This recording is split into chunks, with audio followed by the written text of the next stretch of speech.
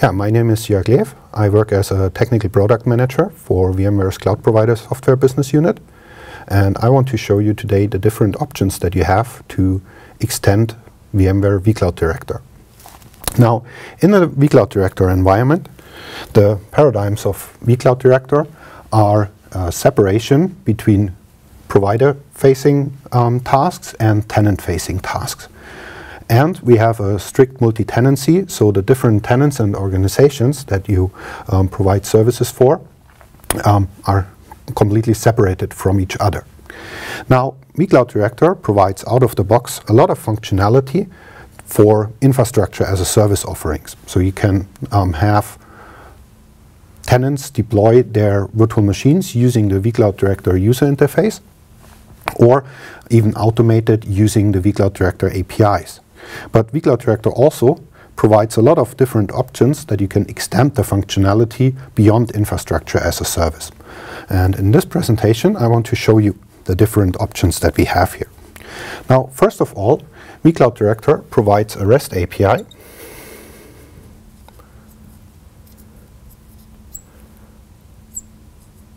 that allows tenants and providers to automate all sorts of tasks in vCloud Director.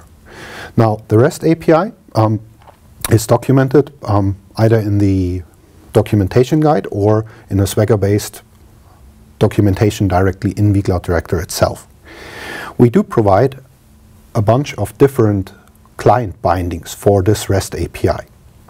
Now, for the REST API, to um, make it more comfortable and easier to use for tenants or um, provider use cases, we do have a command line which is called VCD, VCD CLI.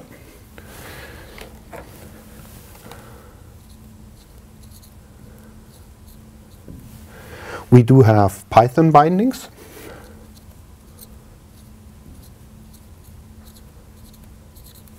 We do have Go bindings.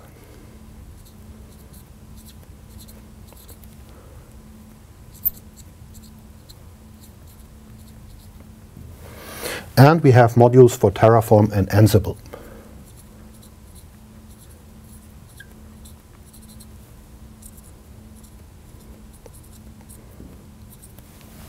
In addition to that, um, there are also PowerShell commandlets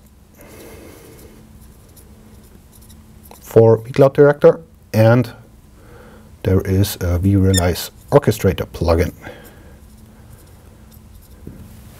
Now, these different options allow you to automate the vCloud Director tasks through the REST API. Examples for that is if, uh, as a service provider, you want to um, well become more efficient in your operations and you want to um, automate the tenant onboarding, so the creation of organizations and organizations VDCs, then that is something you can do um, using these different tools. Depending on the um, different things you want to achieve. There might also be some use cases for tenants to use um, these client bindings. So for example, if you have software developer tenants that want to automate the deployment of vApps and virtual machines in vCloud Director, they, for example, can use the Terraform or Ansible um, modules that we have or the command line to automate that. So one first use case for extending vCloud Director is to automate vCloud Director tasks. Now, in addition to that, um, to these client bindings, there are a few different extensibility options available. First of all, vCloud Director provides a framework with notifications or blocking tasks that allow you to extend vCloud Director functionality. For that, the vCloud Director can send out notifications or blocking tasks through an AMQP broker as AMQP messages. And then you can have, for example, vRealize orchestrator workflows being kicked off based on the blocking task or notifications, and then um, use the orchestrator workflows to integrate vCloud Director, for example, with a CMDB, or to offer some additional services like um, creating automatically creating a backup job. That's the first scenario for extending vCloud Director to use the blocking tasks.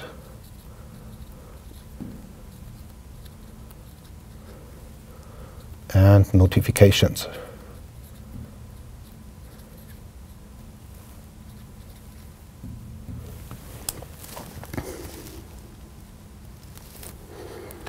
The second extensibility that vCloud Director provides, since a few versions now, is to extend the APIs by additional services. So that is something that is um, like the blocking tasks working um, in the backend under the hood of vCloud Director. It is possible that you extend and register additional services into the API of vCloud Director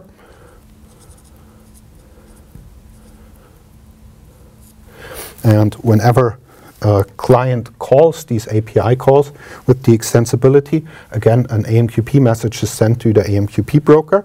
And then um, you can, for example, use vRealize orchestrator workflows or any other system that also can receive AMQP messages to um, act on that and then actually fulfill the service request.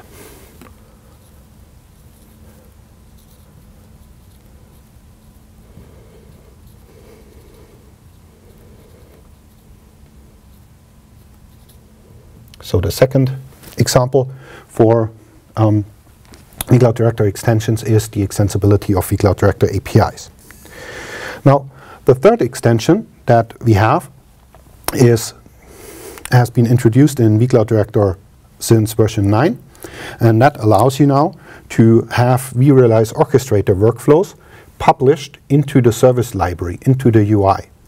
This allows you to use the power and the um, extensibility and flexibility of vRealize Orchestrator to create any sorts of workflows. And these workflows can then be published into the tenant UI so that the tenant user directly can request um, these services without even knowing that in the background they are being fulfilled by orchestrator workflows.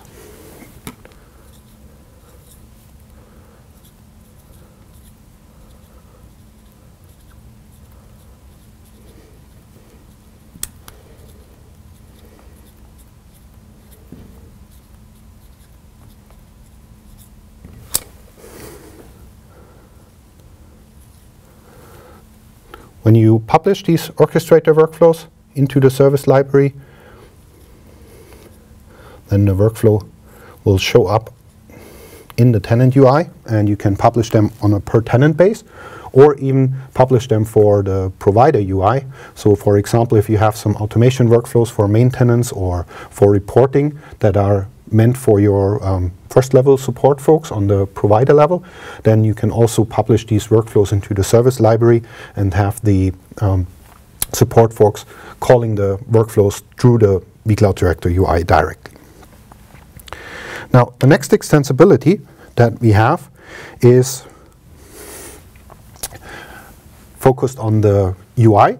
So since vCloud Director version 9.5, it is possible to customize the vCloud Director UI and to add some specific branding for the vCloud Director UI.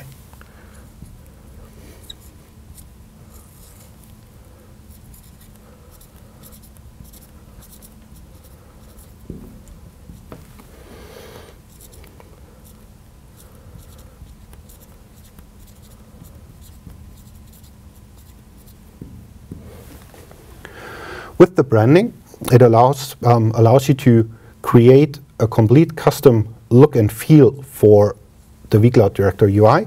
In 9.5, that is a global setting. In version 9.7, it is possible to create different brandings, different colors, different logos, and so on um, on a per tenant base. UI customization also allows you to add some additional static links, for example, into that small help menu in the vCloud Director UI to add um, or to link to your um, other resources or information web pages that you might want to offer to your tenants. Now, the last option to extend vCloud Director is to create your own custom UI plugin. This now offers all the flexibility um, that you want to have because with the uh, custom UI plugin, it allows you to add your own menu entries into the main menu of the vCloud Director portal. And then you are completely open to use whatever technology or design that you want to have for the UI part. And it's all um, yeah, shown within the vCloud Director framework.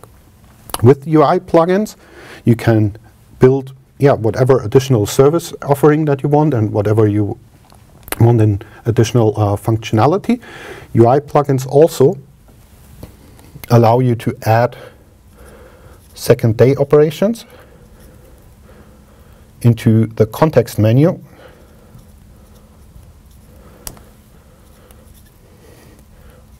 for VMs and vApps. That functionality is available since vCloud Director 9.7. And custom UI plugins also allow you to create um, additional tiles or custom tiles for the dashboard that a tenant user sees when he logs in to vCloud Director. Now these different options allow you to extend VMware vCloud Director and to integrate and automate VMware vCloud Director.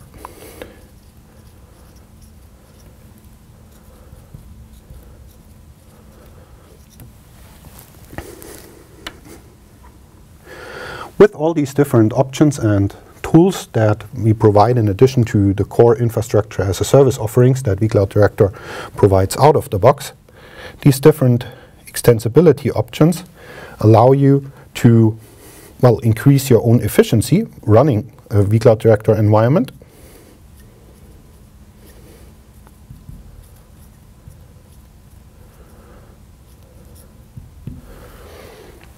They also allow you to differentiate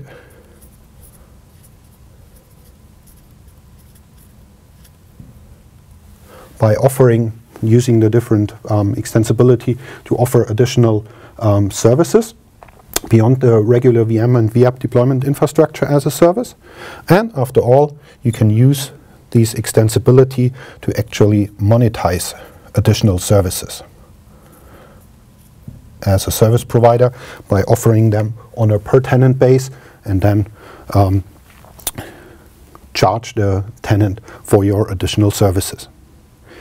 Now this is an overview about the different technologies and tools that we have available for vCloud Director that allow you as a service provider to use vCloud Director beyond infrastructure as a service offerings to as a platform to offer all sorts of services to your tenants.